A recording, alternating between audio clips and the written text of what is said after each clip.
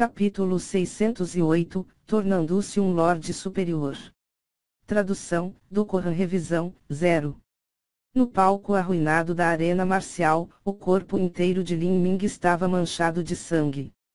Sua clavícula estava quebrada e ele estava se apoiando com a lança divina do cometa roxo. Ele parecia um deus da morte azura que se arrastou após lutar no campo de batalha. Nesse momento, apenas olhar para Lin Ming fazia com que o coração de quem olha se parecer estar sendo apertado. Ninguém se atreveu a olhar Lin Ming nos olhos para se permitir sofrer um ferimento grave em troca da vida do Lorde Superior Eian. As ações decisivas e implacáveis de Lin Ming assustaram todos os artistas marciais presentes, criando calafrios que percorriam as suas espinhas. Eles originalmente pensaram que seria uma partida equilibrada e mesmo se a vitória e a derrota fossem decididas, matar o oponente não seria possível. Deste modo, um lado admitiria a derrota e o outro lado se contentaria com uma vitória difícil. Ninguém jamais sonhou que o Lorde Superior Ian seria morto pela lança de Lin Ming. Dentro da torre polaris divisória de céus, os Lordes Superiores eram sinônimos de reis. Eles eram arrogantes, invioláveis e sua vontade era absoluta. Um Lorde Superior tão forte como Ian tinha realmente morrido pelas mãos de Lin Ming. O impacto que isso teve em todos foi de fazer tremer a terra. Lin Ming sempre escondeu sua habilidade.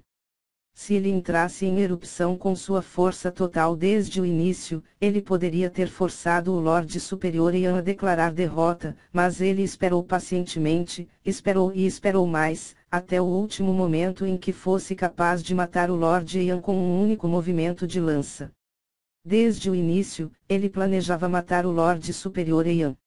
Isso era muito assustador. Podemos entender essa tática, mas quem realmente poderia realizá-la? Mesmo se formos tão fortes quanto Lin Ming, não teríamos a sua resistência. Lin Ming era apenas um pouco mais forte que o Lorde Superior Yan no começo, mas com o passar do tempo, a condição do Lorde Superior Yan mudou lentamente e sua força de combate começou a declinar.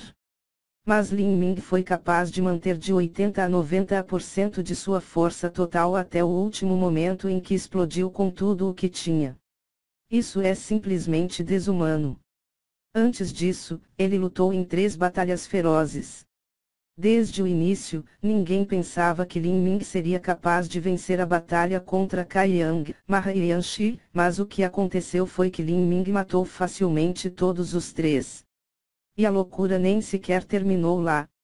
De uma só vez, ele continuou em frente e matou o Lorde Superior Yan. Ele criou essa tática desde o começo.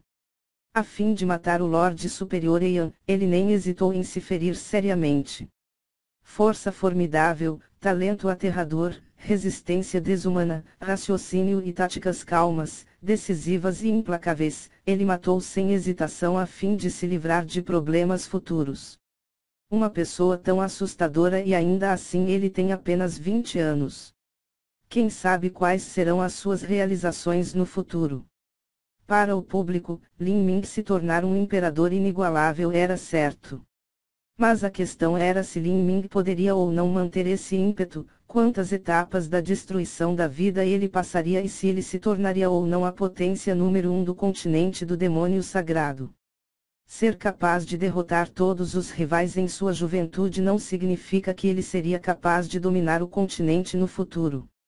Afinal, as chances de um gênio cair no futuro eram difíceis de especular. Para matar Lord Superior Eian, as ações de Lin Ming foram muito chamativas desta vez. Embora esta tenha sido uma batalha na arena marcial e matar o oponente esteja de acordo com as regras da Torre Polaris Divisória de Céus, os outros Lordes Superiores não desistirão daqui. Este é um desafio para a autoridade deles. Não necessariamente. As relações entre os doze Lordes Superiores nunca foram das melhores. Um Lorde superior a menos significa que os outros 11 Lordes superiores serão capazes de dividir mais recursos para si mesmos e obter ainda mais riqueza e autoridade. Enquanto os artistas marciais discutiam, eles de repente viram uma massa negra de energia infernal voar do cadáver do Lorde Superior Eian. Essa massa de energia infernal se transformou em um demônio sombrio no ar. Este demônio tinha cinco pares de asas, era um demônio celestial de dez asas. Neste instante, os artistas marciais presentes finalmente perceberam que haviam esquecido algo. Lin Ming já era um demônio celestial de oito asas bem consolidadas. Se ele matasse o Lorde Superior e então. Vosh. O demônio celestial de dez asas avançou em direção a Lin Ming. Neste momento, Lin Ming estava gravemente ferido e ele nem sequer tinha 30% de sua força. Mesmo assim, ele não seria derrotado por algo como uma massa de energia infernal. O campo de força do demônio celestial se abriu, uma onda de pressão varreu. Peng! O demônio celestial de dez asas tremeu ferozmente e metade de seu corpo se dispersou. O ombro direito de Lin Ming estava quase partido, então ele usou a mão esquerda para levantar a lança. Com um impulso, o trovão explodiu. Sheila. O corpo do demônio celestial de dez asas foi perfurado pela lança de Lin Ming. Transformou-se em pura energia infernal que se fundiu ao corpo de Lin Ming. Com ele, a tatuagem do demônio celestial de oito asas no braço de Lin Ming começou a brilhar e lentamente um quinto par de asas se tornou visível, tornando-se cada vez mais claro. Este par era maior que os quatro primeiros e as penas pareciam tão afiadas quanto espadas. Demônio celestial de dez asas. Ele era um lorde superior. Lin Ming se tornou um lorde superior. Os artistas marciais presentes não sabiam como responder, essa era uma realidade realmente difícil de aceitar. Na torre polaris divisora de céus, haviam-se passado séculos desde que um Lorde Superior humano apareceu. Além disso, Lin Ming era mais jovem que todos os presentes.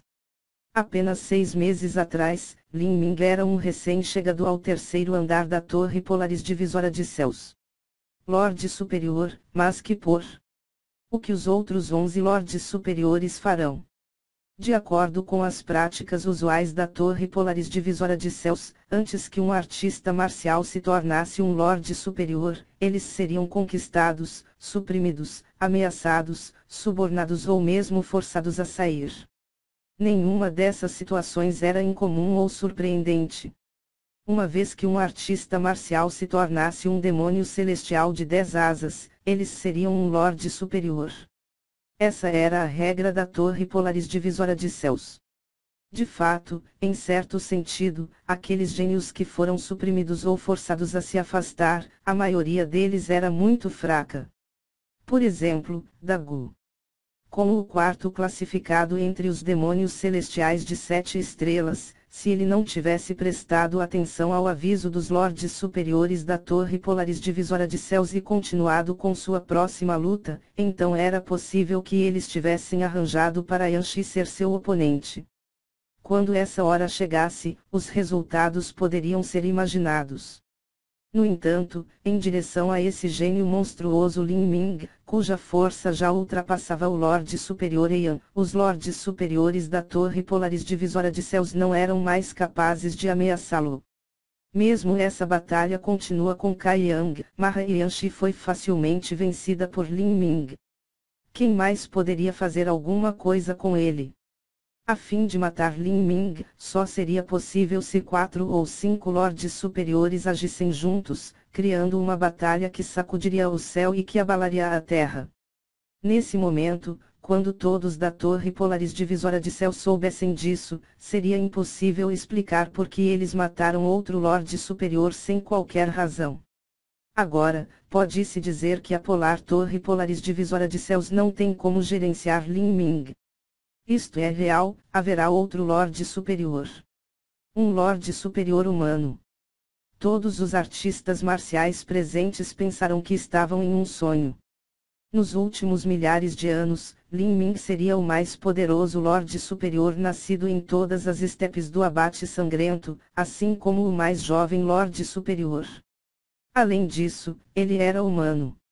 Lin Ming engoliu uma pílula de cura. Sob a dupla função da pílula e sua própria resiliência formidável, a ferida em seu braço já estava se regenerando. Ele podia até sentir os músculos crescendo rapidamente embaixo, fazendo com que uma sensação de coceira se espalhasse ali. A cicatrização de sua clavícula seria mais lenta, mas não demoraria mais do que algumas horas. Lin Ming estendeu a mão e o anel espacial do Lorde Superior Ian caiu na palma da mão. Este anel espacial preto e liso era pesado e de um tamanho maior que um anel espacial normal. Isto era impressionantemente um anel espacial de grau terra de nível alto. Um anel espacial era mais raro que outros tesouros do mesmo nível. O valor deste anel espacial de grau terra de nível alto era provavelmente não menor do que a lança divina do cometa roxo de Lin Ming. Um lorde superior da torre polaris divisora de céus, quem sabe quanta riqueza ele acumulou ao longo dos anos. Lin Ming suspirou em seu coração. O cultivo do Lorde Superior Ian era apenas igual a um mestre humano do reino núcleo rotativo, em termos de força de combate, ele era muito inferior a uma potência nas etapas da destruição da vida. Mesmo nesse caso, ele ainda tinha uma espada de grau celestial e um anel espacial de alta qualidade. Era preciso saber que Mu Fengtian era apenas uma mestra na primeira etapa da destruição de vida, bem como a mestra ancestral da Ilha da Divina Fênix. Ainda assim, a arma que ela usava era apenas um tesouro normal de grau terra de nível alto. Se este anel é tão valioso, então o que estaria nele? Lin Ming estava cheio de antecipação. Quanto à espada Piton Rubi Carmesim, Lin Ming naturalmente não podia esquecer, ele também a pegou. Se ele não contasse o forno de fusão universal celestial, então este era o tesouro de mais alta qualidade que Lin Ming tinha visto até agora. Embora ele não pudesse usá-lo, ele ainda poderia trocá-lo por enormes quantidades de recursos. Vendo Lin Ming pegar toda a riqueza de Lorde Superior Eian, os olhos dos artistas marciais ficaram vermelhos de inveja. Essa era a riqueza total que um Lorde Superior das estepes do abate sangrento havia acumulado por mais de dez anos. Seu valor total superaria em absoluto o de uma seita comum de quinto grau. Uma quantidade tão grande de riqueza seria de enorme ajuda para caminhar pela futura estrada das artes marciais. Mesmo alguém como Feng Shen não podia ignorá-lo. Depois que Lin Ming pegou tudo, ele não saiu da arena marcial, mas sentou-se e meditou. Ele estava atualmente em um estado muito lamentável e sua força de combate havia caído drasticamente. Se alguém no mesmo nível do Lorde Superior Ian chegasse agora, então ele seria capaz de matá-lo sem dúvida. Embora essa possibilidade fosse muito baixa, Lin Ming não queria ser surpreendido. Restaurar sua força para 70 a 80% na arena marcial e depois voltar para sua área de treino era a aposta mais segura. Contanto que ele pudesse restaurar sua força, quem poderia fazer alguma coisa com Lin Ming? Sem mencionar que ele também tinha o efêmero rock dourado quebrando o vazio. Se ele realmente tentasse fugir com toda a capacidade do seu movimento, então nem quatro ou cinco lordes superiores do nível de Ian seriam capazes de detê-lo. Mesmo que sua velocidade pudesse acompanhar Lin Ming, sua resistência seria inferior à dele. Lin Ming conseguiria manter sua velocidade de pico o tempo todo. Quanto aos outros, mesmo se eles ingerissem pílulas constantemente enquanto voavam, sua velocidade se tornaria cada vez mais lenta. Neste momento, Lin Ming não tem mais medo da torre Polaris divisora de céus.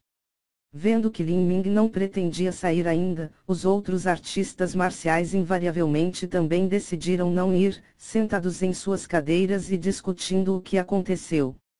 E nesse momento, no primeiro andar e no segundo andar da torre Polaris divisora de céus, havia muitos artistas marciais reunidos em bares, restaurantes, casas de chá e outros lugares discutindo as três lutas contínuas de Lin Ming com Yan Shi, Maha e Kai Yang.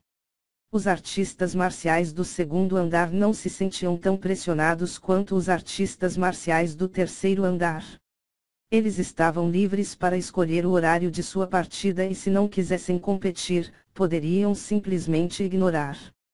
Eles tinham uma quantidade relativamente grande de tempo para conversar e relaxar. A luta contínua de Lin Ming com Yan Shi, Maha e Kai Yang já havia se espalhado por toda a torre polaris divisória de céus dez dias atrás como uma tempestade furiosa. Todos eles eram artistas marciais, então quem não queria ver uma batalha tão dura? Mas aqueles que poderiam realmente ir para o terceiro andar e assistir estas partidas eram indivíduos extraordinários ou absurdamente ricos do segundo andar. Quanto ao mais fraco dos artistas marciais, muito poucos teriam as qualificações, mas mesmo que tivessem as qualificações para subir, ainda assim não conseguiriam pagar um ingresso. Em um restaurante no segundo andar, um velho mestiço contador de histórias estava carregando uma bengala em uma das mãos enquanto fazia gestos rápidos com a outra mão. Ele estava inventando coisas completamente fantásticas da luta contínua de Lin Ming com Yan Shi, Maha e Kai Yang. Os artistas marciais do primeiro e segundo andar que não tinham as qualificações para entrar no terceiro andar e assistir a essa batalha só podiam usar o poder da sua imaginação. O velho contador de histórias tinha encontrado uma oportunidade de negócios e estava contando sobre a batalha contínua de Lin Ming com os três homens com grande prazer. Para um mortal, se eles pudessem receber um único cristal de sangue demoníaco como recompensa, isso seria o suficiente para eles viverem na torre polaris divisória de céus por um ano inteiro. Pá! O velho bateu com a bengala no chão. Naquele exato momento, Kayang cortou com seu sabre, usando sua técnica final. Mas nesse momento, Lin Ming se manteve firme, imóvel. Ele floresceu sua longa lança, empurrando-a para fora e naquele ponto os céus tremerão e a terra se despedaçou, os deuses chorarão e os fantasmas chorarão. Kayang cuspiu um bocado de sangue e Lin Ming o perseguiu. Apare com isso.